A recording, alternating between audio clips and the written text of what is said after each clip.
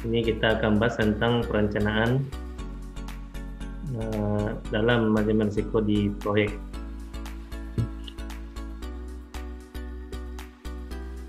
Nah, jadi ada 9 bidang pengetahuan dalam keembok.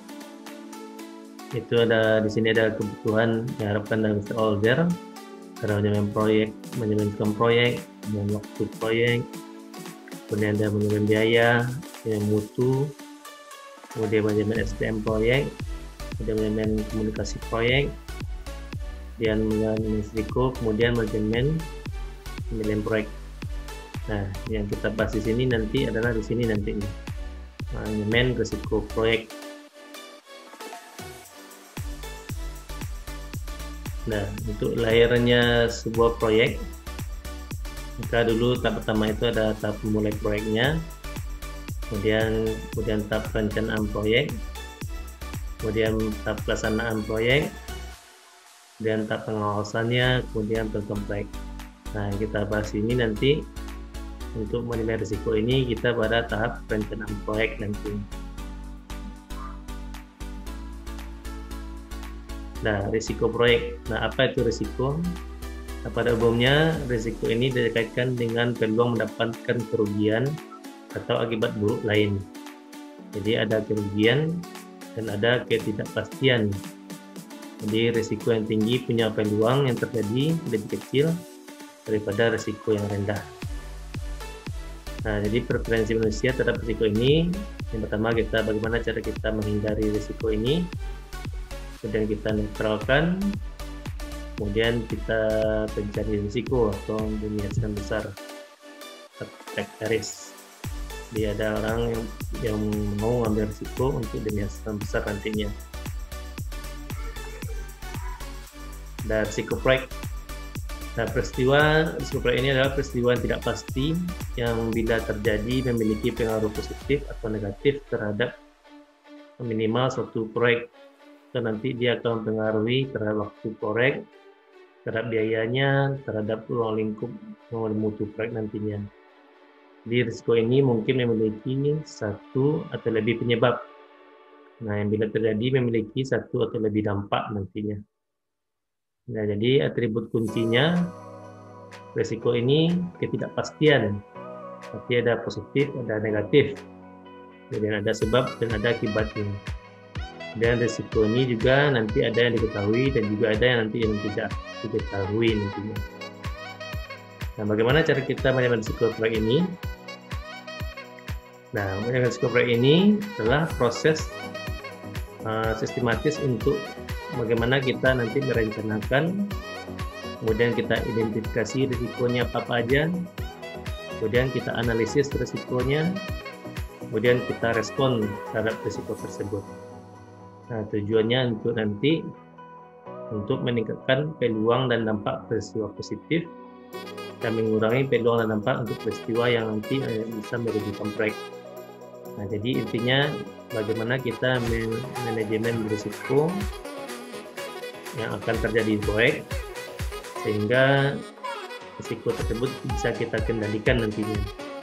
Jadi proses-proses yang terlibat pertama itu kita rencanakan dulu bagaimana risikonya kemudian kita identifikasi risiko apa-apa aja risiko yang mungkin terjadi di proyek kemudian kita analisis risiko nah di sini ada dua metode ada secara kualitatif dan ada secara kuantitatif Nah, kemudian setelah kita hitung analisis, baru kita buatkan rencana respon terhadap risiko tersebut.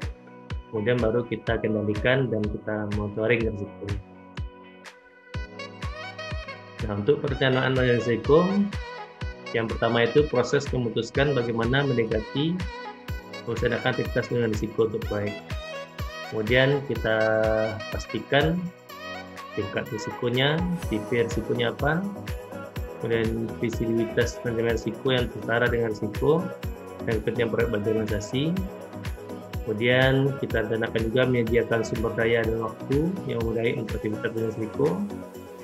Kemudian kita tetapkan basis sentrality untuk mengalkulasi risikonya nanti. Nah, jadi risiko ini adalah suatu seni dan pengetahuan dalam mengintegrasi, menganalisis, kemudian menanggapi risiko selama proyek berlangsung demi tercapai sasaran dan proyek. Jadi data 55% proyek pelaksanaannya tidak sesuai dengan dana anggaran waktu dan biaya. Jadi tidak mengelola risiko yang benar. Ini, ini datanya.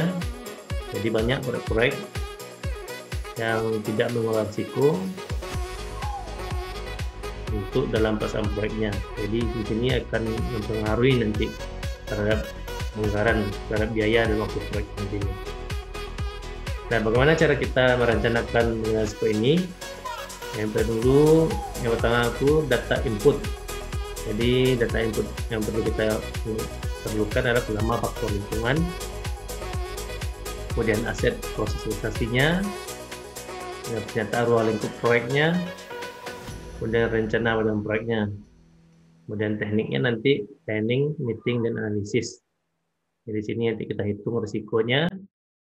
Jadi diharapkan outputnya nanti rencana risiko, kemudian metode pelaksanaan, cara dan tanggung jawab, berapa anggarannya, berapa waktu yang dibutuhkan, kemudian kategori risikonya apa aja, kemudian definisi peluang dan dampaknya nanti. Nah, untuk pertama kita itu identifikasi risiko. Dan sini pertama kita harus tentukan risiko-risiko yang mempengaruhi proyek dan mengidentifikasinya karakteristiknya. Kemudian eh, kita identifikasi juga peserta yang terlibat dalam proyeknya, anggota tim proyek, anggota risiko, kemudian ahli teknis di luar tim proyek, kemudian customer, kemudian end user, dan ahli dengan risiko. Kemudian merupakan proses iteratif karena risiko-risiko baru mungkin diketahui sebagai kemajuan proyek melalui siklus hidupnya. Nah, jadi untuk identifikasi risiko ini, input data yang diperlukan nanti faktor lingkungannya, akses proses organisasi, peta ruang lingkup proyek, rencana manajemen proyek, kemudian rencana manajemen risiko. Jadi tekniknya tadi, nah, metodenya ada dokumentasi review, ada brainstorming, metode Delphi, metode interview, metode root cause identifikasi, atau nanti mungkin metode SWOT, atau metode checklist, analisis checklist. Sudah ada metode teknik diagram, efek flowchart.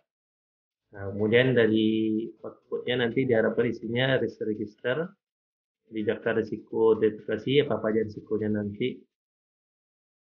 Kemudian daftar respon potensial kemudian risiko akar penyebab kemudian kategori risiko yang update. Nah, untuk analisis risiko ada dua tadi ada kualitatif dan kuantitatif. Nah, untuk kualitatif ini pertama kita harus menilai prioritas risiko teridentifikasi menggunakan peluang terjadinya dan dampaknya terhadap tujuan proyek bila risiko itu terjadi. Kemudian menilai faktor-faktor lain seperti kerangka waktu dan toleransi terhadap risiko tersebut dari kendala biaya, jadwal, ruang waktu, dan waktu.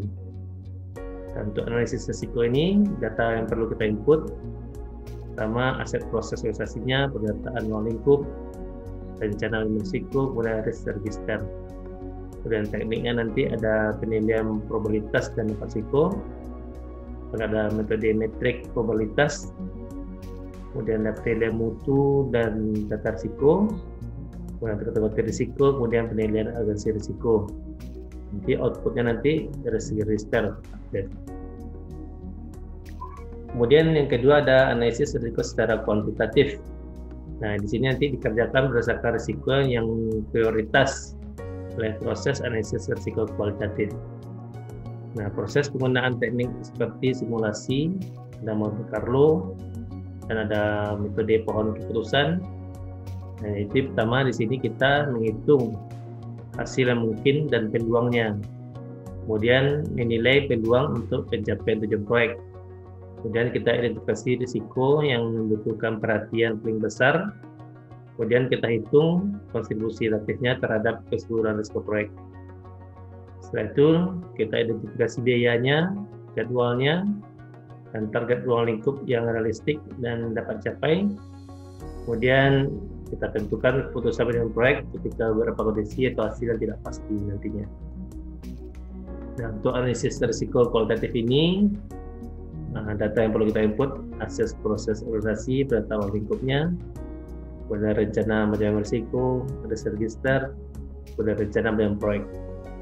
Tekniknya nanti ada data gathering, ada interview, atau probability distribusi, kemudian ada metode expert judgment. Nah, untuk kuantitatif teknik juga ada analisis sensitivitas, kemudian analisis expected, kemudian analisis monetary value, keputusan, kemudian modeling dan simulasi. Nah, nanti diharapkan output dari risiko kuantitatif ini adalah register update, di analisis probabilitas proyek, kemudian peluang pencapaian tujuan biaya dan waktu, kemudian daftar prioritas risiko terkuantifikasi. Nah setelah itu nanti kita rencanakan respon terhadap responnya apa, apa aja responnya kita. Di proses ini adalah mengembangkan pilihan dan menentukan tindakan untuk meningkatkan kesempatan dan mengurangi ancaman terhadap tujuan proyek. Nah ini mengikuti analisis risiko kualitatif dan kuantitatif. Untuk perencanaan respon risiko ini, data yang perlu kita input nanti risk management plan, kemudian risk register.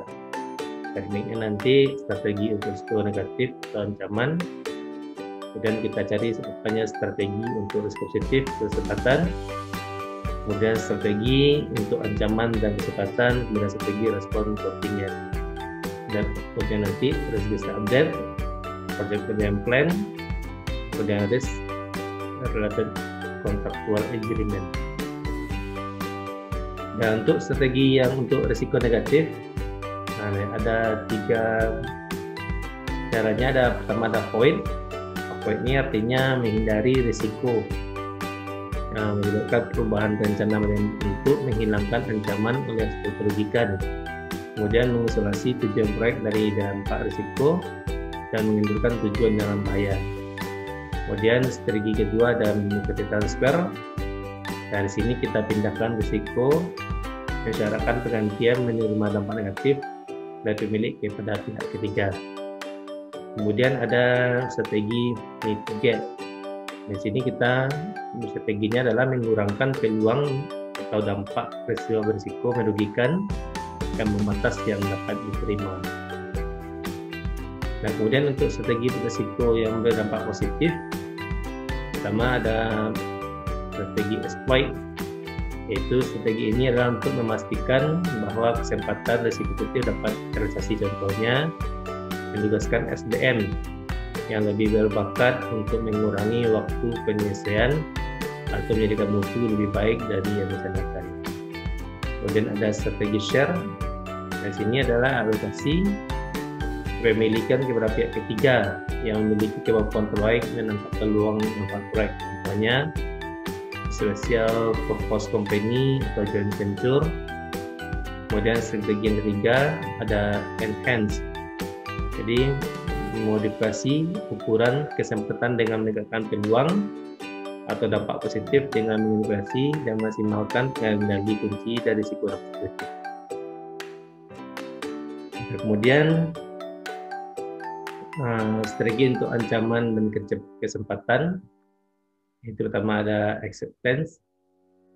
Di sini sangat jarang kemungkinan untuk menghilangkan seluruh sebuah proyek. Tim proyek memutuskan tidak mengubah rencana dan proyek untuk menyelesaikan dengan resiko. Jadi penerimaan pasif tidak ada tindakan dan penerimaan aktif yang menetapkan cadangan kontingensi termasuk jumlah waktu, uang, dan sumber daya nanti. Kemudian strategi respon kontingen yaitu beberapa respon yang dirancang untuk digunakan hanya bila peristiwa terjadi. Jadi untuk beberapa risiko, tim proyek membuat rencana respon yang hanya akan dilaksanakan di bawah kondisi tertentu. Nah, setelah itu, bagaimana cara kita untuk mengendalikan dan mengurangi risiko? Jadi dari proses identifikasi tadi, analisis, kemudian merencanakan risiko-risiko yang bermuncul. Kemudian kita lacak risiko intervensi kemudian kita ulang risiko sekarang. Kemudian memonitor kondisi pemicu rencana kontingensi, kemudian kita monitor sisa risikonya, kemudian kita review pelaksanaan respon risiko saat saat mengevaluasi keefektifannya. Jadi tujuan lainnya adalah untuk memastikan bila asumsi proyek masih valid atau risiko bagaimana telah dinilai berubah dari sebelumnya. Jadi kebijakan dan prosedur mengenai diikuti cadangan, biaya dan jadwal kontingen inovasi sesuai risiko proyek. Nah, untuk penilaian ini dan monitoring ada tiga cara juga kita melihat data inputnya, management plan, register, reporting request, kemudian informasi, kemudian performance report dari tekniknya nanti risk, risk assessment, risk audit, variance and, and analysis, kemudian technical performance, kemudian result analysis, kemudian status meeting. Di outputnya nanti ada result register, requested change, recommended corrective action, kemudian recommended preventive actionnya apa aja, kemudian organisasi proses desain, kemudian project management plan. Nah, jadi dalam proses dalam risiko ini, sama intinya kita rencanakan risikonya, kemudian kita identifikasi apa-apa aja risikonya, kemudian kita analisis. Setelah kita analisis, kita menganalisis kuantitatif atau secara kualitatif nanti kemudian kita rencanakan tanggapan terhadap risiko, kemudian memantau dan menaikkannya. Nah, proses satu merencanakan manajemen risiko proyek. Nah, sini proses yang memutuskan tentang pendekatan yang akan dilakukan dan bagaimana melaksanakan kegiatan dan risiko untuk proyek. Ini perencanaan risiko proyek sama masukan, data yang masukkan, pernyataan risiko proyek, rencana biayanya, rencana jadwal, kemudian rencana organisasi, kemudian faktor lingkungan organisasi, kemudian aset progres organisasi, ganti dan tekniknya, pertemuan-pertemuan untuk menyusun rencana dan analisis. Nah, hasil merencanakan risiko proyek nanti pertama itu rencana manajemen ini memuat Pertama ada metodologinya, peran tanggung jawab, anggaran, kemudian waktunya, kapan dan setelah sharing, kemudian kategori risikonya, kemudian kita definisikan peluang risiko dan dampaknya. Kemudian kita definisikan peluang dan dampak risiko, kita buat metrik peluang dan dampaknya, dan buat toleransi stakeholder, kemudian kita buat laporan, kemudian pelacakan untuk mengaudit proses risiko. Nah, untuk plan risk management kita pertama untuk outputnya kita buat risk breakdown strukturnya. Jadi pertama ada project, project ini ada nanti ada technical, harga organisasi, ada project management. Untuk technical nanti ada recruitmentnya, teknologinya bagaimana, complexity currentnya, performance capability, kemudian kualitinya. Kemudian untuk organisasi ada project dependence, kemudian sumber dayanya, kemudian funding, kemudian prioritas prioritization. Kemudian untuk project manajemennya, kita bagaimana kita hitung estimasinya, kemudian planning rencananya, kemudian kontrolnya, kemudian komunikasinya. Nah, nanti dari probability itu, impact, kita buatkan metrik untuk empat produktivitas. Ya, di sini define condition impact scale of response jadi artinya di sini adalah uh, indeks untuk resikonya jadi kalau cost misalnya biaya berarti kalau resikonya low berarti in in significant cost increase. Kalau low kurang 0,1 berarti di sini uh, biayanya kurang mengurangi 10% kalau resikonya moderat menengah berarti cost increase-nya 10 sampai 20 persen. Nah kalau biayanya sudah 20 sampai 40 persen hilang berarti risikonya sudah high sudah tinggi. Indexnya 0,4 nah kalau very high berarti 40 persen cross cost increase berarti menghilangkan biaya sebesar 40 persen. Berarti ini risikonya sudah paling tinggi. Kemudian kita lihat terhadap waktu kalau resikonya very low, berarti insignificant time increase. Kemudian kalau resikonya sudah low, berarti mengurangi timesnya 5% dari waktu rencana. Kemudian kalau resikonya moderat, berarti sudah 5 sampai 10% dari time increase-nya. Kemudian kalau udah high, berarti 10 sampai 20% dari schedule-nya kemudian kalau very high sudah lebih dari 20% begitu juga dengan scope. Kalau very low risikonya very low di scope objectives-nya uh, noticeable begitu juga nantinya dengan quality. Quality kalau risikonya tinggi berarti quality reducennya acceptable to sponsor. Jadi artinya uh, di sini skala skala risikonya di batas-batasannya.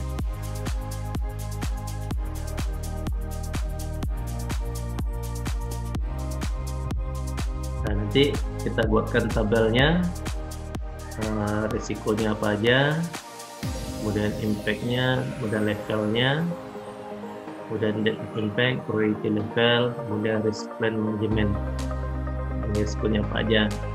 Jadi untuk probability-nya ada very low ada low ada medium ada high ada very high.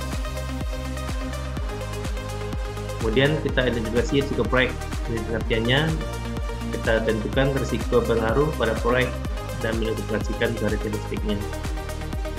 Untuk masukannya uh, untuk identifikasi risiko proyek kita pertama kita tentukan untuk rencana proyeknya estimasi biayanya dan kegiatan dan baseline dan register stakeholder pernyataan cukupan proyek rencana waktu dan mutu dan dokumen-dokumen proyek dan faktor lingkungan organisasi dan aset organisasi. Dan tekniknya nanti pemeriksaan dokumen teknik-teknik informasi ada bisa wawancara nantinya dan brainstorming ada metode deduksi, kemudian ada akar dengan risiko, kemudian daftar pengecekan, kemudian teknik-teknik urutan diagram, ya ada bagaimana arus, diagram sebab akibat, dan yang kelima ada metodenya analisis SWOT, lebih banyak dan dia nanti. dan untuk identifikasi risiko, pertama kita register risikonya yang muat, kita buat daftar hasil identifikasi risikonya, kita buat daftar tanggapan potensialnya kita cari akta penyebab risiko kita kita kelompokkan risiko yang mutakhir kemudian untuk melakukan analisis kualitatif risiko pertama kita memberi nilai prioritas pada risiko-risiko proyek untuk menjadikan dasar analisis dan tindakan selanjutnya dengan cara melakukan assessment dan menggabungkan peluang risiko dengan dampaknya. Kemudian kita tentukan risiko pengaruh pada proyek dan mendedikasinya dari risikonya. Dan untuk melakukan analisis risiko kualitatif ini, pertama kita register risikonya, kita rencana proyek risikonya, kemudian kita lakukan pernyataan cakupan proyek, kemudian aset proses organisasi. Nah ini peran dan tekniknya yang digunakan antara lain berupa metrik peluang risiko. Nah, kalau ini dampak dampaknya ada rendah menengah tinggi. Kemudian di sini peluang. Peluangnya ada tinggi ada menengah ada rendah. Nah kalau peluang risikonya tinggi dampaknya rendah berarti risikonya di level 6 nah kalau peluang risikonya kemungkinan kejadian risikonya tinggi kemudian dampaknya menengah berarti ini adalah termasuk risiko yang risiko level 9